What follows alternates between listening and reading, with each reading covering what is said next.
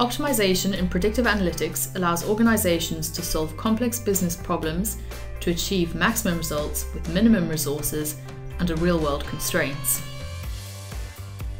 Let's start with Gartner's definition of optimization.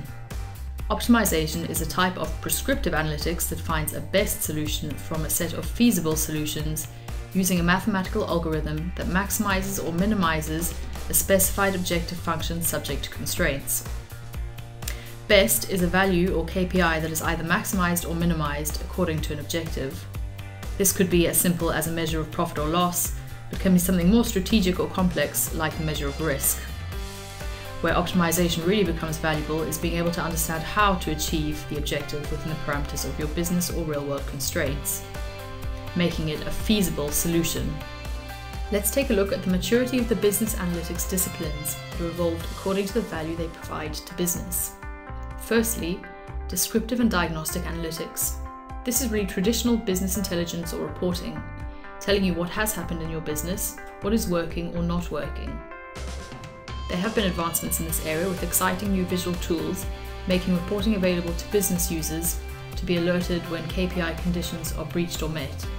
Still, it is only providing hindsight. Predictive analytics provides more valuable insight, this can be a binary prediction of an event, for example, fraud, yes or no, but it can also be more complex, like producing a score that represents the level of interest a customer may have in a product or service, or a level of risk associated with a customer engaging with a credit based product or service.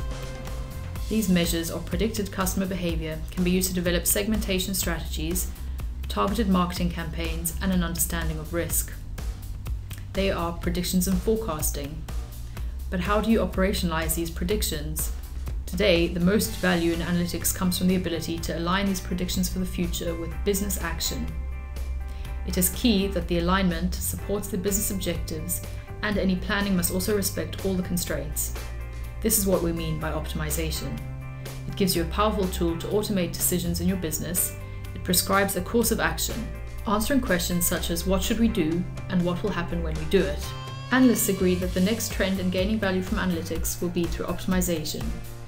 Here we see that according to TDWI research, the value to be gained steadily increases as an organization matures its approach in analytics, from descriptive to diagnostic and predictive, towards optimization and prescriptive analytics.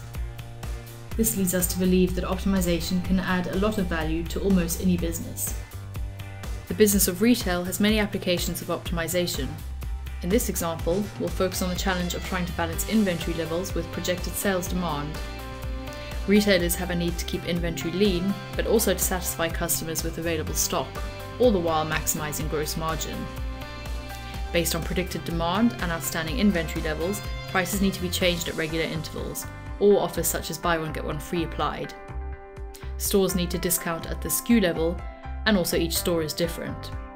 Stores with too much inventory need to discount more than stores that are on track with predicted demand. With optimization, models can be built weekly to tell you what you will sell and at what speed, and how you can influence this by discounting. Clearly, the value of optimization is ensuring that balance is maintained continually and items or SKUs are only discounted when they need to be.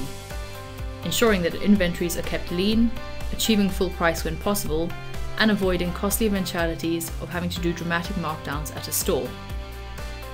The pricing strategy can be on a store level, but also a broader national level, ensuring that retailers only apply the right discounts in the right areas. Further areas where optimization adds value in retail include more accurate forecasting and improved customer loyalty, the ability to stock the right stores with the right products at the right time not only improves retailer performance, but in the case of fresh food produce, reduces waste, and increasing focus in greener economies. Additionally, providing shoppers with the right offers in store and targeting them with appropriate marketing activities will result in improved loyalty. Angoss offers both software and services. Our comprehensive software suite caters for data preparation, model building, visualization through our native charts and partnerships with Tableau and Qlik, to model management. And Angoss software is known for its easy to use graphical user interface and workflow. Within the Angoss Analytics platform, our optimization application is Insight Optimizer, which allows users to perform optimization on model results from any analytical environment, to to make the most of your resources and achieve the best ROI, to determine the best customer engagement strategy, to automate complex optimization coding, and to solve complex business problems. Insight Optimizer is a standalone application can be used on top of whatever tools you're already using. And now, if you're saying to yourself, this is great, but we don't have the in house resources or knowledge to tackle this, Angoss can help you there too with our range of professional services. Thank you for your interest. The full length optimization webinar is also available to view on demand. If you'd like to access it, click to open the link. Or to find out more, please contact us at sales at angoss.com.